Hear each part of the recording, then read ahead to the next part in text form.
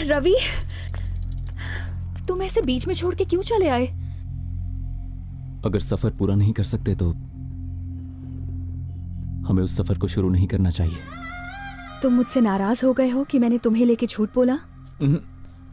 बिल्कुल नहीं। बस झूठ नहीं बोलना चाहिए था।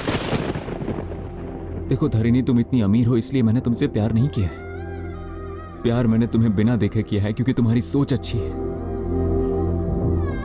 पता नहीं मैं तुमसे ये सब क्यों कह रहा हूँ। तुम्हें देखने के लिए, तुमसे बात करने के लिए एक एक पल तड़पता था, लेकिन जब मौका मिलता था तो बात ही नहीं कर पाता था। फिर तुमने सामने से मुझसे फ्रेंडशिप की। पता है, पूरे महीने चाय पीता ना, तीन सौ रुपए होते हैं।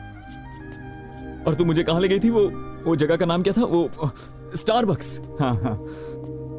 वहाँ ये कॉफ़ी तीन सौ रुपए पागल है क्या?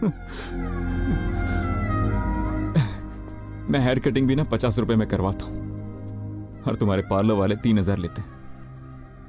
मुझे लगा ये सिर्फ़ कीमत का फ़र्क है।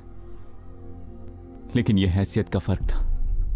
रवि दरअसल मैं सबको ये बताना चाहती थी कि हाँ वो तुम्हारी मजबूरी थी जानता हूँ। मैंने बीटेक किया है ये जानने के बाद ही तुम मेरे करीब आई थी धरनी। मैंने ही नोटिस नहीं किया। करेक्ट तुमने फ़ोन गिफ्ट किया ना तो बहुत अच्छी फीलिंग आई थी।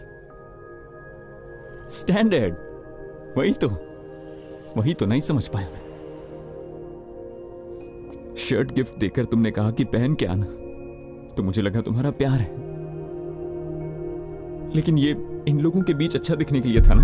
ये क्या कह रहे हो रवि? तुम पागल हो गए हो क्या? धरनी अफसोस तो बस इस बात का है कि तुम भी औरों जैसी ही निकली। तुम्हारी नज़र में न्यूज़पेपर बांटना गलत नहीं है पर बिलो स्टैंडर्ड है। स्टैंडर्ड ही अलग है ना? एक ही चीज़ इंपॉर्टेंट है आदमी का बैकग्राउंड कितना इंप्रेसिव कितना चमक दमक वाला। और लेकिन इंसान हम्म, कैसा भी हो चलता है। इस दुनिया को छोड़कर तुम मेरे साथ नहीं रह पाओगी। रवि तुम जानते भी हो तुम क्या कह रहे हो? तुम्हें नहीं मैं खुद को जज कर रहा हूँ। मैं सोचने लगा था कि हम दोनों की दुनिया भी एक हो सकती है।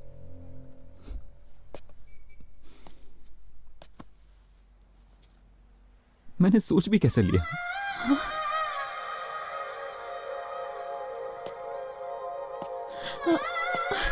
रवि!